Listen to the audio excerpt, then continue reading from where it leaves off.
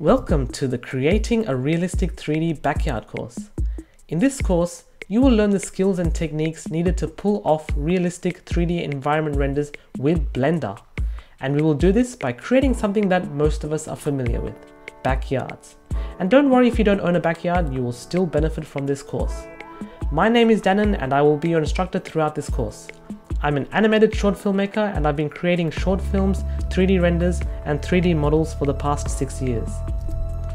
In this course, you will learn how to organize and plan your backyard scene, modeling, shading, and texturing realistic assets that will make up your backyard, such as the flowers, the trees, the fence, and so on. Using the assets that you create, you will then build your backyard scene in Blender, and finally, you'll bring that backyard to life by adding in photorealistic lighting, tweaking the rendering settings, and also adding compositing effects. So why should you enroll?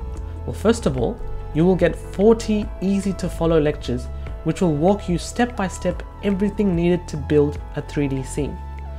You will get support whenever you get stuck, and as a bonus, I'm also throwing in the Garden Asset Pack. The Garden Asset Pack is a pack of over 50 models that will help push your garden renders to the next level. The pack contains models for fences of all types including wooden, metal, concrete and so on.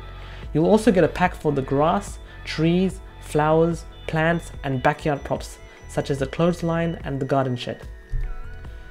So are you a beginner with little to no experience creating 3D environments? Then no problem. If you're really interested in creating 3D environments, or want to push your 3D modeling, lighting, and rendering skills in Blender to the next level, then this course is tailor-made just for you. So all you have to do is enroll now to get started. I hope to see you throughout this course.